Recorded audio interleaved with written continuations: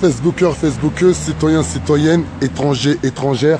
Voilà, comme on a prévu, tous les jours, on fait une vidéo par rapport à la révocation de moi-même, Adama Traoré. Exactement, la mairie m'a révoqué depuis le 1er mars. Je suis, plus, je suis officiellement plus à la mairie de sous bois Voilà, regardez. Ça aussi, c'est une autre chose qu'on avait dénoncé. Le bétonnage excessif dans la ville de sous bois et la gentrification perpétrée aux yeux de tous. Il faut une réelle prise de conscience collective. Voilà, nous sommes dans les quartiers nord, dans le quartier sud, désolé, de la ville de sous bois Pour ceux qui ne connaissent pas la ville de sous bois mais tout le monde connaît, en face de moi, c'est L'Oréal. L'Oréal, quand même, est une des plus grosses entreprises euh, de France. Elle est implantée au plein cœur d'Aulnay-sous-Bois. Regardez, en face de nous. Et je parie qu'il n'y a pas plus de 10% des Aulnaysiens qui travaillent à L'Oréal.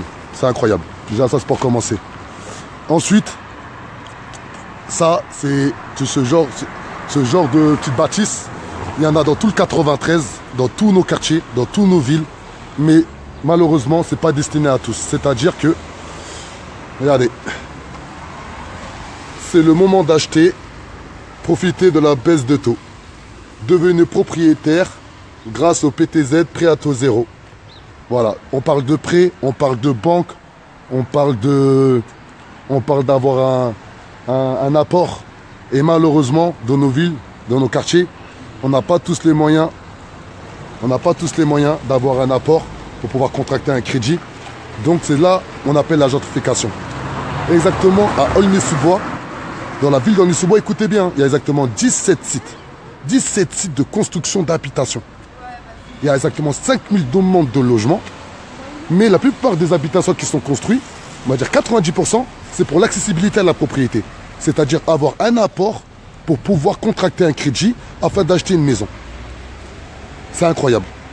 Comment se fait-il qu'il y a une démagogie qui est faite par beaucoup de politiques, c'est-à-dire de beaucoup construire de l'accessibilité sociale à la propriété, en sachant très bien que lorsqu'ils détruisent un logement HLM, lorsqu'ils reconstruisent l'accessibilité à la propriété, ce n'est pas pour la population qui réside dans le quartier. Ben, c'est ça qu'on a dénoncé. Et aujourd'hui, clairement, la ville d'Aulnay-sous-Bois m'a révoqué pour cela. À un moment donné, il faut qu'il y ait une réelle prise de conscience collective. Les 14 personnes qui ont en direct, vous comprenez très bien qu'aujourd'hui, en France avec, euh, avec l'aide du gouvernement, l'aide de l'État, avec exactement l'ANRU, l'Agence nationale de rénovation urbaine qui pèse exactement 10 milliards d'euros. Ils subventionnent des projets municipaux et ces mêmes projets municipaux sont reversés à la Secono en règle générale, ce qui est un aménageur du département, et que lui détruit puis reconstruit, fait appel à des promoteurs. En gros, c'est un business qui tombe que sur eux-mêmes. C'est incroyable. C'est incroyable il faut qu'on se réveille. Il faut vraiment qu'on prenne tous conscience que le réel réveil citoyen partira de la population. Il faut qu'on puisse réaliser que tout à chacun, dans notre cœur, dans notre façon de vivre, dans notre façon de faire les choses, si on prête attention à ce qui se passe dans notre environnement, on sera plus dangereux que des émeutes, que de la violence, que des insultes. Le mouvement La Révolution est en marche a mené plusieurs combats. Le meilleur des combats qu'il a pu gagner, le mouvement La Révolution est en marche, c'est d'avoir fait comprendre à toutes les personnes qu'on a pu accompagner que de eux-mêmes, ils pouvaient faire agir, pousser, réagir les personnes qui les oppressaient. Le mouvement la Révolution Thomas, c'est une de ses premières victoires. Sur toutes les personnes qu'on a pu accompagner à l'échelle nationale, c'est une des seules victoires qu'on a et qui est sûr et certain. Que toutes les personnes qu'on a accompagnées, lorsqu'on les a laissées, ils ont compris que tout partirait que d'eux-mêmes. Ni une institution, ni les amis, ni les voisins, avant toute chose, ça part d'eux-mêmes. Et là, je vais refaire, je vais refaire filmer un autre truc. Parce que là, on parle aussi de... Vous voyez là? Regardez. Là, là, ici exactement. Là, là, il y a, y a un haut responsable de la mairie d'Aulnay-sous-Bois qui s'appelle Naguib qui habite vers ici. Et ce site-là, à la base, était, c'est une zone pavillonnaire, bien vu, une zone pavillonnaire, paisible, calme, très calme. Et bien maintenant, est, venue, elle, elle est devenue constructible, exactement depuis 2015. Comment ça se fait qu'une zone pavillonnaire paisible, calme, devient constructible du jour au lendemain? Regardez, on voit là-haut les travaux qui commencent. Regardez les travaux.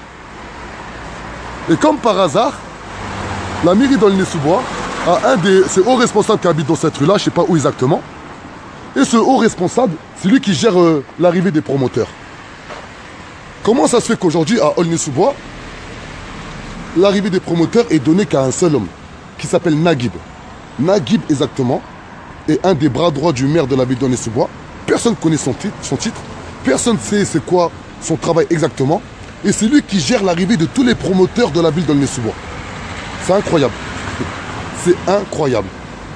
On en sait, on est, et le pire, au lieu que les promoteurs ils arrivent dans notre ville, font profiter la jeunesse, les personnes âgées, commandent des petites sociétés avec des jeunes pour qu'ils puissent embaucher par ces promoteurs-là. Faire en sorte que même créer des promoteurs issus des quartiers, issus des zones pavillonnaires. Non, c'est qu'aujourd'hui, il y a des personnes qui viennent faire du beurre sur, euh, sur nos projets, sur nos projets, du moins sur les projets que la municipalité met en place, sans même impliquer la population. Et bien c'est ça qu'on a dénoncé. Et ça, ça m'a valu ma révocation.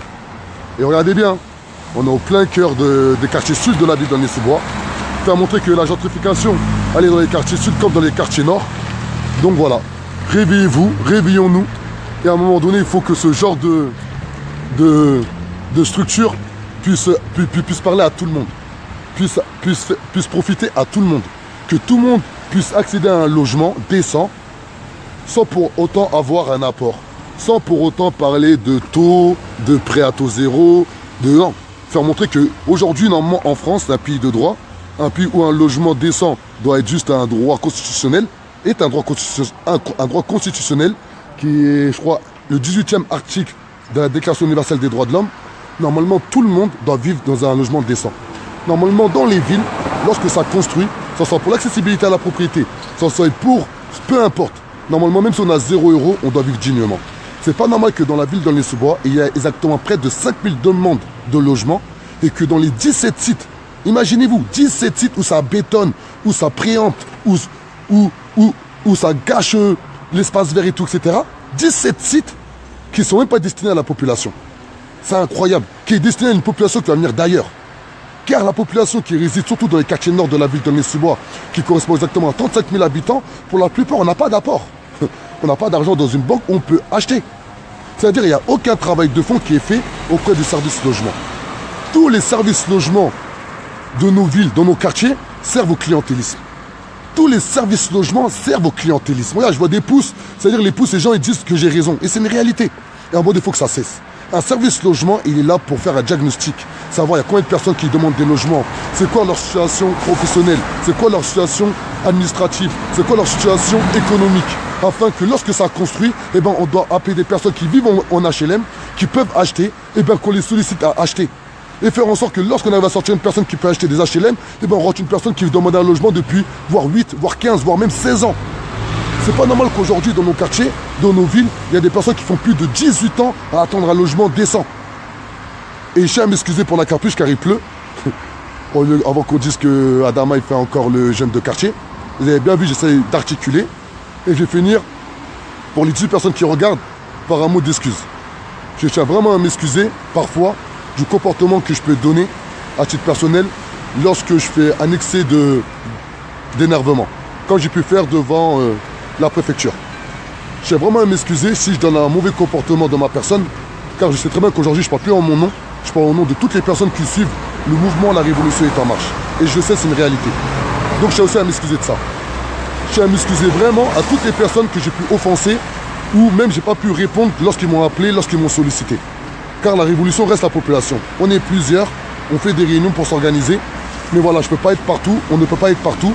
On est une petite organisation, ça fait qu'un an on existe et on espère avec le temps pouvoir évoluer. Dans la façon de parler, dans la façon d'être et dans la façon de communiquer. C'est très important. On tient à remercier aussi toutes les personnes qui nous font confiance. On souhaite tous un bon dimanche à tous les citoyens, à tous les étrangers en situation régulière, voire irrégulière, en espérant que chacun va comprendre que on a tous une âme citoyenne, on est tous respectables et respectueux, et qu'à un moment donné, ces institutions-là, ils sont à notre service avant toute chose. Car ils fonctionnent avec nos impôts, car ils fonctionnent avec les taxes, car ils fonctionnent avec notre sueur. Et ça, il ne faut jamais l'oublier. Il ne faut jamais avoir un complexe d'infériorité face à ces personnes. Il faut qu'on puisse le regarder droit dans les yeux. Et que et que, que on, ne cède jamais ni à la violence, ni à l'insulte, ni au comportement injuste. Tout simplement. La révolution est en marche. Voilà, vous voulez dénoncer, euh, on va finir sur, euh, sur la petite maisonnette, voilà. Vous voulez dénoncer les, les, constructions euh, d'accessibilité à la propriété qui n'est pas là pour, la population la plus fragile, la plus démunie, la plus défavorisée, pour la population qui font des demandes de logement depuis de nombreuses années. Donc voilà, il faut que ça cesse tout ça. Il faut qu'il y ait des vrais plans euh, urbanistes qui, parlent à la population et qui protègent l'environnement. Car à Aulnay-sous-Bois, je finis par ça, il y a exactement 17 sites, 17 pétonnages dans la ville d'Aulnay-sous-Bois. C'est incroyable. Donc on vous attend nombreux et nombreuses le 7 mars 2018. Le 7 mars 2018 à 19h30 devant la mairie d'Aulnay-sous-Bois afin d'avoir des réponses sur tout ce bétonnage, sur cette gentrification qui est devant nos yeux et qu'on n'y prête pas attention. Merci beaucoup, merci à vous. La révolution est en marche et personne ne peut l'arrêter. Ciao